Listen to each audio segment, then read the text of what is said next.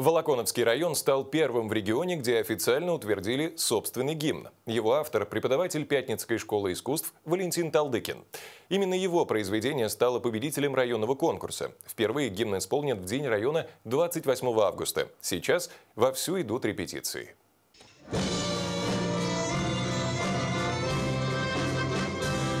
На свете есть места необычайной красоты.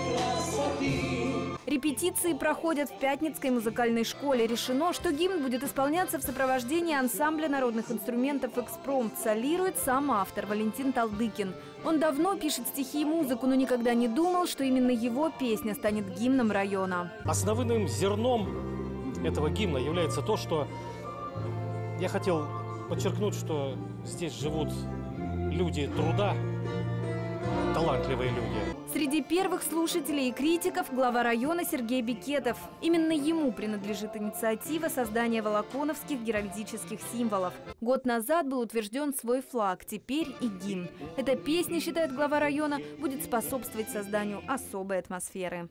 Гимн, я считаю, и конкурсная комиссия поддерживает мое мнение, должен э, создавать особый дух для наших жителей, должен подчеркивать э, нашу глубокую любовь к нашей Родине, наше огромное желание делать добрые дела во имя процветания нашей Родины. Я думаю, что вот э, в словах этого гимна нашего состоявшегося есть все вот эти качества, которые нам хотелось бы видеть в нашем гимне. Волоконовка была основана в 1731 году. В текст песни автор постарался вложить все, что дорого сердцу любого жителя Волоконовской земли.